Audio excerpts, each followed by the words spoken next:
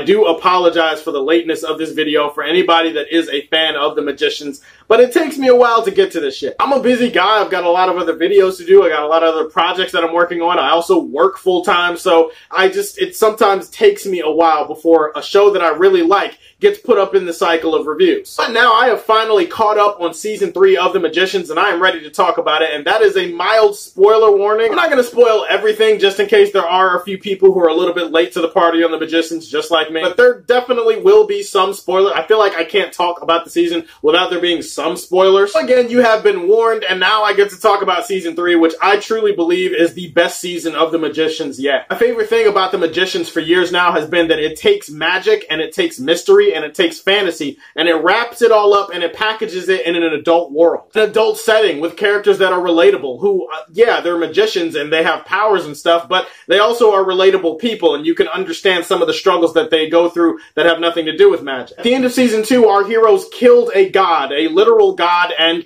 there are consequences to killing a god in the magician's universe. Killing a god led to magic itself being shut down. There's like no magic anywhere. Nobody has it except Julia. We'll get to her in a second. This season is really about the journey back to magic. It's about all the characters first dealing with the repercussions of not having magic. Then they have to try to figure out a way to get magic back. The only way that they're gonna get magic back is by going on a quest. Yes, a quest. And it sounds kind of corny and cheesy, especially when they say it. But then when you watch the season and you go through the journey with them, you understand, oh no, yeah, this definitely is a quest. And each character has an important role to play in that quest. There's a story that says that if you get seven keys of magic, they will unlock some door to magic at the end of the world, and that will help you get magic back. Quentin this season, I feel like he's the one character that was like 110% focused on getting magic back. Every other character, I mean, yeah, they want to get magic back and they're focused on it, but they got a lot of other shit that pops up that distracts them along the way that they have to deal with while also trying to get magic. And so I feel like Quentin was just like tunnel vision. I feel like he was just like, yeah, I, I have to get magic back. In that sense, it was kind of disappointing when I look at his storyline this season. It didn't really challenge the character in any meaningful or insightful way. There's a little thing at the beginning of the season that deals with him trying to get get Alice back, and he's with her when her father gets killed by something that she made an enemy of when she was a Niffin. At the end of the season, there's like a small thing that pops up with his dad where if they get magic back, his dad might actually die because cancer was in remission when magic was gone. And if magic comes back, then his dad basically dies. Outside of that, I didn't really feel like Quentin had much to do this season besides reacting to things that other characters were doing. Best episode that he was in all season long was the episode where he and Eliot are trying to find the clue to one of these keys and they somehow accidentally get stuck in the past. I'm not talking about like 10, 15 minutes ago. I'm talking about years, years, years ago in the past. They get stuck in Fillory and they have to try to figure out this clue and then they end up getting old and they end up growing old together. It was a really funny episode. It was a really beautiful and touching episode that also once again continued to flesh out the great bromance slash occasional romance between Eliot and Quentin. Speaking of Eliot, he and Margo functioned this season just like they functioned last season as the High King and Queen of Fillory. So not only do these guys have to try to figure out how to run a magical country as King and Queen without magic, but they also have to try to help Quentin and Alice and whoever else is on his quest to help get magic back. It's always funny to see Eliot and Margo and see how much they've changed since season one. I mean, season one, they even reference it in this season. And that's another thing I love about this show is it's very self-referential, very aware of itself. It doesn't always take itself so seriously. There's a lot of meta humor that's there scattered throughout. There's one episode where Eliot and Margo are talking about all the shit they have to deal with and then they're just kind of like, damn, we used to be the fun bitches at the club. What happened? And then Eliot is just kind of like, yeah, we were, and then we got character and depth. Moments like that are why I love Eliot and Margo. In this season specifically, I would say Margo has more to do than Eliot. Not to say that Eliot doesn't have a story whatsoever. One of the biggest revelations of the season is finding out that the child that he had with Finn, who they thought the fairies raised and brought back to their world, is actually not their kid. Yeah, it turns out Finn's baby died in the fairy world and that the girl they brought back was only there as a spy, I guess. She was a spy for the fairies. That's kind of messed up that Eliot, he wasn't a father and he didn't want to be a father first, but then he was forced to be a father and he actually kind of was enjoying it for a second. And then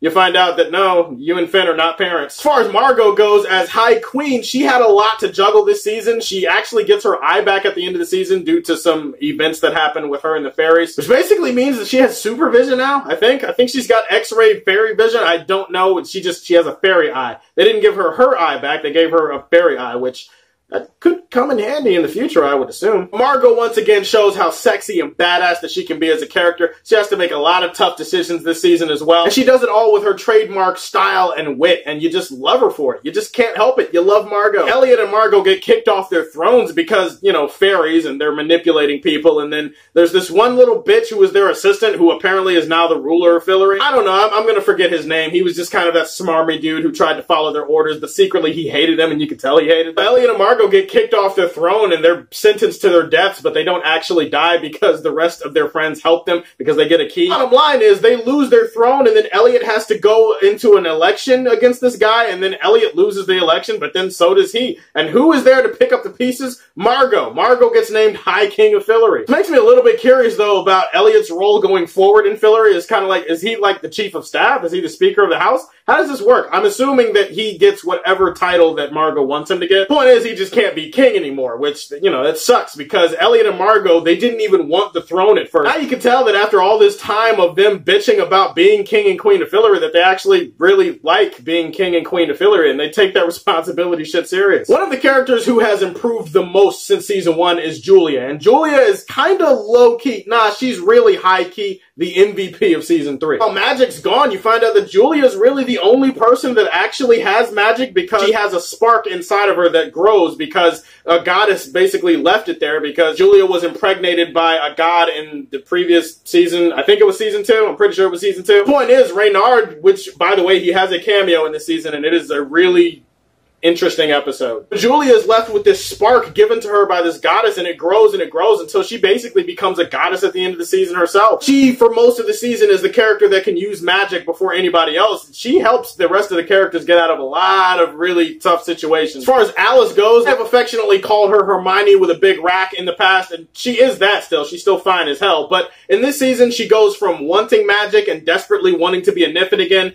to all of a sudden dealing with the consequences of being a Niffin because something that she pissed off when she was a Niffin came back to bite her. And literally, when I say that, I mean it came back to kill her father. So after that, you definitely see that she's afraid to be tempted by magic. She's afraid of the influence of magic. She doesn't want to deal with the pain that magic can cause anymore. She tried to end magic forever. Like, she tried to destroy the keys. Fortunately, the library and Fogg show up, and this is where things get kind of weird because they use a siphon that I didn't know that they had. So basically, magic is back now, but the library controls its use and it controls how much people can get. Alice is kept prisoner in the library because she made a deal with the library to siphon off Julia's power, but she never did. So the library took that as, okay, you double crossed us?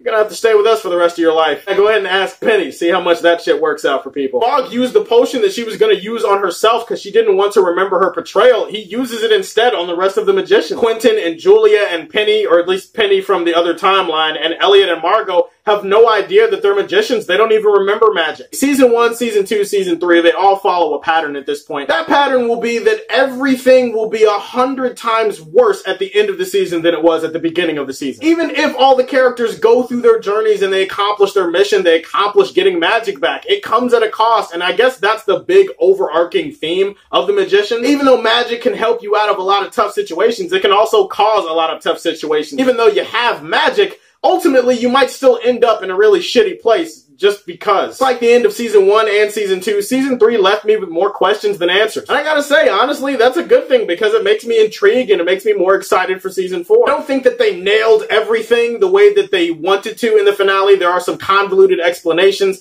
I also think that Quentin and Eliot's storylines were kind of subdued this season. Magicians also does have a problem that sometimes pops up when they try to use visual effects that go beyond their budget. But overall, I think that this was the most compelling season of The Magicians yet. I really love the way it ended, and I'm excited for more. I really love season three of The Magicians, and I'm going to give it a solid four out of five supers. Those are my thoughts on season three of The Magicians. The finale was a few months ago, so again, I'm sorry that I'm late. What were your thoughts on season three of The Magicians, and what are your theories going into season four? Keep in mind, I don't read the books, so educate me in the comment section if you want to. Please like and subscribe to the Superfan Show, and as always, if you like what you see, tell me how you feel, and stay tuned to hear more from the Man of Steel.